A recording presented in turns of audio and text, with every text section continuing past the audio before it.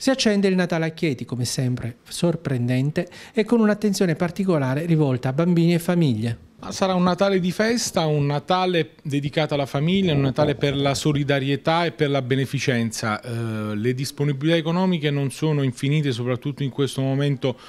di ristrettezza e di risanamento per l'ente, pertanto sempre come fatto in questi anni, ancora di più in questa occasione, in questo Natale, abbiamo messo in campo una sinergia importantissima con l'ANIAC di Tommaso Rutolo che è stata veramente è stata un'associazione preziosa per l'amministrazione comunale e parimenti come sempre abbiamo trovato un virtuosismo eh, amministrativo ed economico nel ricorrere nelle sponsorizzazioni e nelle sinergie istituzionali anche con altri enti. Eventi da non perdere. Eventi da non perdere sono tanti, in particolar modo avremo eh, un artista di carattere internazionale che verrà a suonare in piazza un'arpa laser, una bellissima e suggestiva eh, rappresentazione sia di carattere artistico musicale sia scenografica perché appunto illuminerà eh, la piazza con quest'arpa laser e suonerà appunto live davanti a, alla cittadinanza, ma soprattutto siamo felici di riuscire ad addobbare al meglio